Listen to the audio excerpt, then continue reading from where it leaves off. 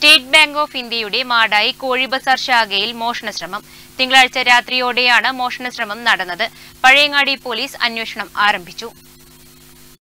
State bank of ഇന്ത്യയുടെ മാടായി കോഴിബസാർ ശാഖയുടെ പ്രവേശന കവാടത്തിലെ ഇരുമ്പ് വാതിൽ ഭദ്രമായതിനാൽ ബാങ്കിന് പിറകുവശമുള്ള കോഴിക്കടയുടെ മുകളിലൂടെയാണ് ബാങ്ക് പ്രവർത്തിക്കുന്ന ഒന്നാം നിലയിൽ മോഷ്ടാവ് എത്തിയത്. ഒന്നാം നിലയിൽ പ്രവർത്തിക്കുന്ന ശാഖയുടെ മുൻവശത്തെ വാതിലിന്റെ പൂട്ട് തകർത്താണ് ബാങ്കിനകത്ത് കയറിയത്. ഒന്നും തന്നെ നഷ്ടപ്പെട്ടിട്ടില്ല എന്ന് ബാങ്ക് അധികൃതർ പറഞ്ഞു. ഫയലുകൾ എല്ലാം വാരിവലിച്ചിട്ട നിലയിലാണ്. ബാങ്ക് മാനേജർ നൽകിയ പരാതിയിൽ പഴയങ്ങാടി എസ് ഐ കെ ഷാജുവും സംഘവും സ്ഥലത്തെത്തി പരിശോധന നടത്തി. Payyanur DYSP Premarajan A Pazhayangadi C I Rajagopal എന്നിവർ സംഭവസ്ഥലം സന്ദർശിച്ച് പരിശോധന നടത്തി. കണ്ണൂരിൽ നിന്നും വിരലടയാള വിദഗ്ധരും ഡോഗ് സ്ക്വാഡും ബാങ്കിലെത്തി പരിശോധന നടത്തി.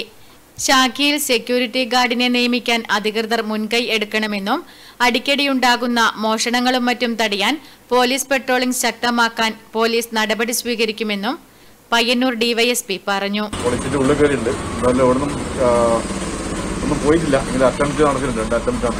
അതുപോലെ പിന്നെ സ്ട്രോങ് റൂമൊന്നും ചെയ്തിരുന്നില്ല ജസ്റ്റ് മാക്സിം കാര്യങ്ങളൊക്കെ പരിശോധിച്ച് പോവുകയാണ് ചെയ്തത്. എന്തായാലും വളരെ സീരിയസ് ആയ സംഭവം തന്നെയാണ്. വളരെ പോലീസ് വളരെ സീരിയസ് ആയിട്ട് അന്വേഷിക്കുന്നുണ്ട്.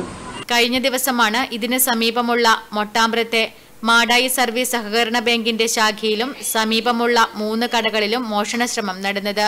News bureau Pazhayangadi.